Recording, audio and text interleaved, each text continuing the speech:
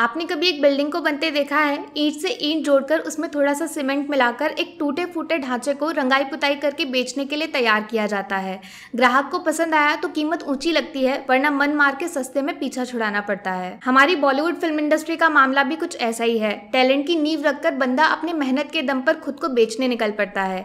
Role में fit बैठा तो चेहरा सीधे फ़िल्म के पोस्टर पे, वरना मुंबई की लोकल ट्रेन की भीड़ में धक्के खाता हुआ नज़र आता है। लेकिन जैसे कभी किसी बिल्डिंग पे बुरी नज़र डालकर कुछ मवाली उस पर ज़बरदस्ती कब्जा कर लेते हैं। ठीक वैसे ही फ़िल्म इंडस्ट्री में कुछ सड़क छाप टपोरी पिछले कुछ सालों से नए एक्टर्स की किस्मत पे सांप की तरह कुंडली मार के बैठे हुए हैं। हेलो फ्रेंड्स मैं हूँ Diksha. Welcome to Filmi Indian हाजिर हूँ आपके लिए लेकर एक स्पेशल वीडियो जिसमें कुछ मास्टरमाइंड लोगों के चेहरों से नकाब उतारूँगी, जिनको नए एक्टर्स की किस्मत से खेलने का काफ़ी शौक चढ़ा हुआ है। इनको डॉन बोलना तो डॉन शब्द की बेजती होगी, लेकिन सबको एक साथ मिलाकर आप बॉलीवुड का माफिया गैंग बुला सकते हो, जो बिना एक भी गोली चलाए किसी भी इंसान की जान ले सकता है।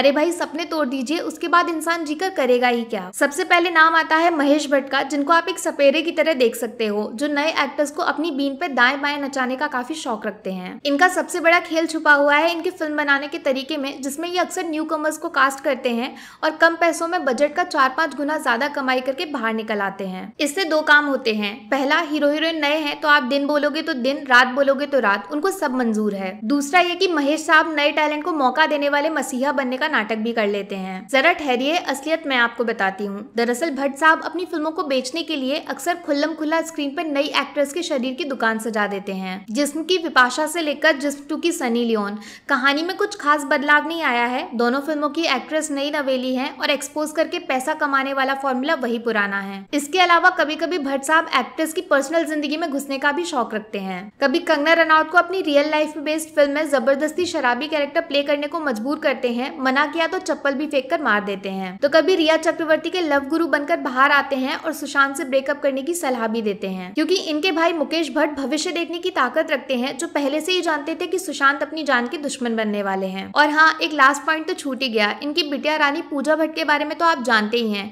भगवान न करे उनकी जैसी जहरीली एक्टिंग का टैलेंट किसी और कलाकार की किस्मत में आए। लेकिन मैडम, किसकी बेटी है, ये बात साबित करने में कभी पीछे नहीं रहती। इनका लास्ट ट्वीट ही पढ़ लो। इनका मानना है कि कंगना रनौत को फ़िल्म में लेकर इनके पिताजी ने बहुत बड़ा एहसान किया था। अच्छा तो मतलब कंगना का टैलेंट बेकार है, उसकी वजह से उनको फ़िल्में थोड़ी मिलती हैं। ऐसा करते हैं, अगली बार भट्ट साहब आपको लेकर एक फ़िल्म बनाकर दिखाएँ, उसके बाद देखते हैं फ़िल्म को कम से कम चार पाँच ऑस्कर तो मिल ही जाएँगे, है ना? दूसरा नाम है उस इंसान का, जिसकी वजह से मेरी ज़िंदगी में मोहब्बत, इश्क, लव जैसे शब्द असल मायने में जीवित हो गए हैं।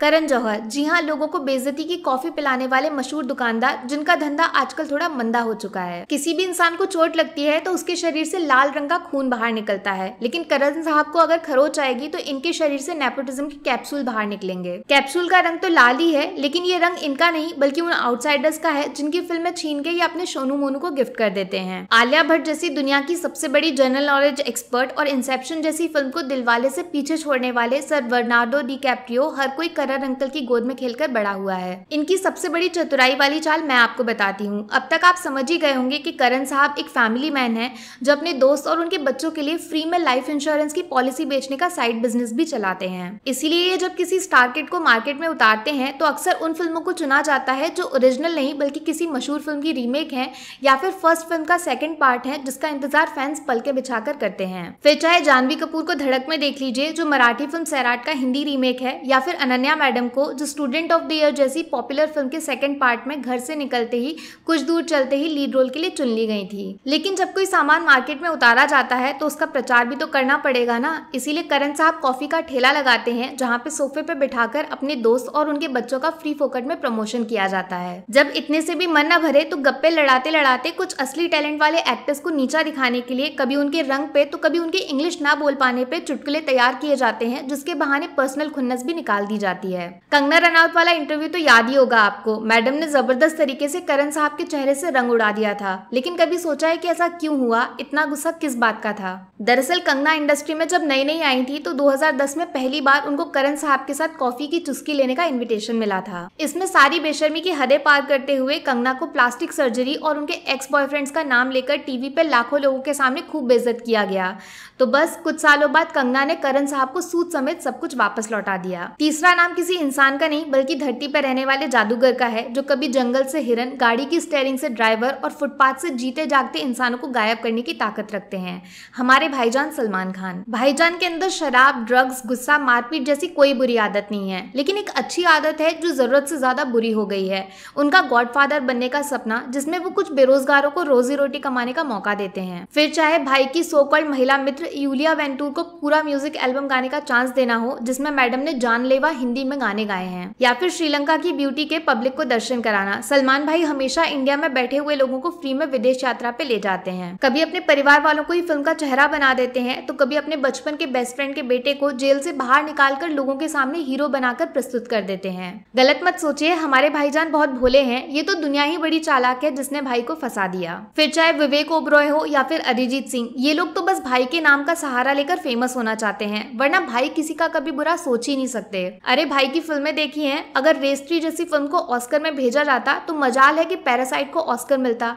ट्रॉफी सीधा सलमान भाई के घर की दीवार पे लटकी होती जैसे काले हिरन के सींग लटके हुए हैं। और आप लोग भाई के टैलेंट से इतना जलते क्यों हो? भाई खुद ही फ़िल्म के गाने लिखते हैं, खुद ही गा भी लेते हैं और खुद ही गाने पर डांस स्टेप्स कोरियोग्राफ भी कर लेते हैं। देख रहे हो, इतना टैलेंट एक इंसान के शरीर में। तुमको पता है भाई खुद को कैसे रोकते हैं, वरना सारे सिंगर, डांसर, एक्टर सब घर बैठ जाएँगे। देखो मज़ाक एक तरफ़ और अनभक्ति दूसरी तरफ़। अपनी आँखें खोलिए और असली टैलेंट को सपोर्ट करिए, वरना भाईजान की गाड़ी किसी भी दिन आपके घर के बाहर आ सकती है। उसके बाद क्या होगा? समझदार को इशारा ही काफ़ी है। लास्ट में बस इतना बोलूँगी कि दुनिया में अच्छाई और बुराई दोनों है। क्या हुआ अगर आजकल बुराई का मौसम चल रहा है? हिम्मत करिए, वक्त बदलेगा और बॉलीवुड इंडस्ट्री में सफ़ाई अभियान की शुरुआत भी होगी। बस मुझे और आपको साथ मिलकर अपने हाथों में चप्पल उठानी पड़ेगी, क्योंकि आजकल पैरों की गंदगी से ज़्यादा ज़रूरी आँखों की गंदगी को साफ़ करना है। बाकी वीडियो में कुछ पसंद आया हो या फिर कुछ शिकायत करनी हो तो मैं आपको इंस्टाग्राम पे भी मिल जाऊँगी। वरना थोड़ा सा इंतज़ार करिए, मिलूँगी आपसे अगले वीडियो में। Take care bye bye